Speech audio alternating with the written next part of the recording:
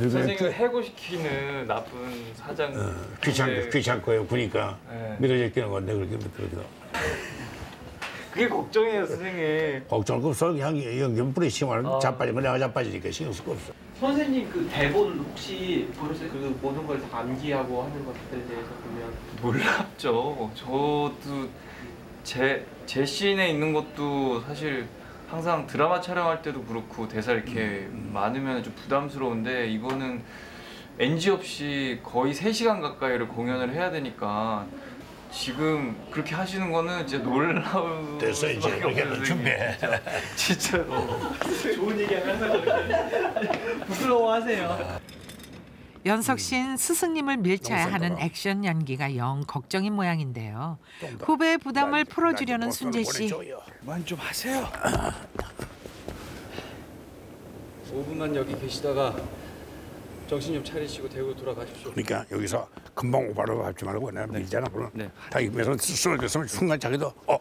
이런 게 있어야 돼. 네네네. 네네. 자 밀은 자기 의도적으로 민건 아니야. 뿌리친 네네네. 건데 내가 넘어진 거네. 그러나 늙은이가 넘어져서 아이고 이런 아, 기분이 어.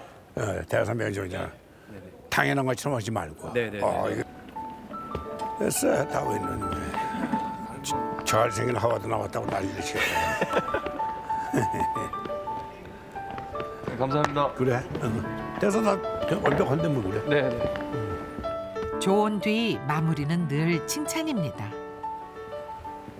그 아이의 현재 그 입장에 맞게 역할에 맞게 어떻게 준비를 하면 도움이 될지 이런 거를 이렇게 훈계하는 모습이 아니라 정말 따뜻한 음, 형님 같이 오라버니 같이 이렇게 늘 상대방을 이렇게 동격으로 놓고 이렇게 인격적으로 대해 주시는 거.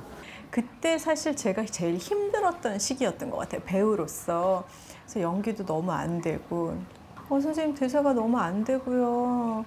어, 뭐 어떻게 해야 될지 모르겠어요. 막 이렇게 말씀드렸더니 이순재 쌤께서 어, 이제 말하려고 그러는 거야. 그러시더라고요. 그래서 네? 했더니 여태 옹알이 하다가 이제 말하려고 그래서 네가 힘든 거라고.